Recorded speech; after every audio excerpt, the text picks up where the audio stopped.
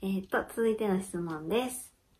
経験した人の中で変態さんはいましたか？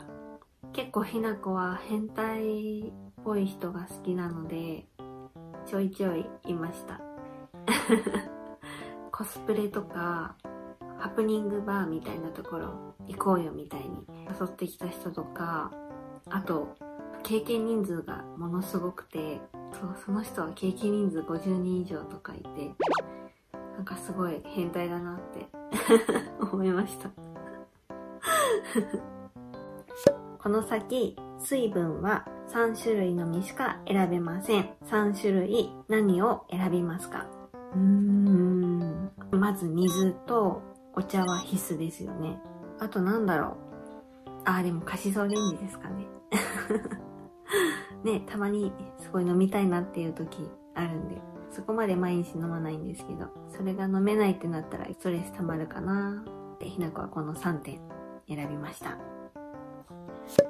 女子同士って超めんどくさいなと思ったりすることはありますか？具体的に教えてください。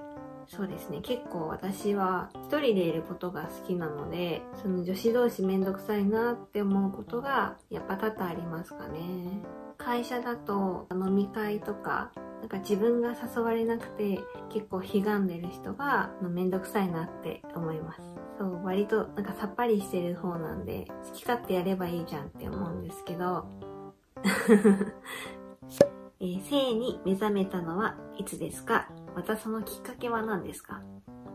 いや、性に目覚めたのは本当に多分幼稚園とか、いや、かなり早い方だったと思います。きっかけは、その時たまたま、なんかエッチなアニメをやってて、で、なんかそれを見て、で、ちょっと、あの、舌がムズムズしちゃって、よくなんか触ってました。やばい。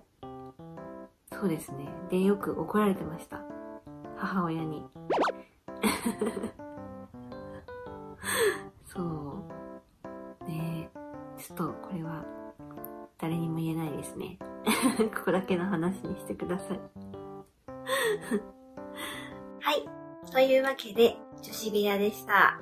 きなことお友達になってくださる方、チャンネル登録してくださると嬉しいです。あと、質問もお待ちしてますね。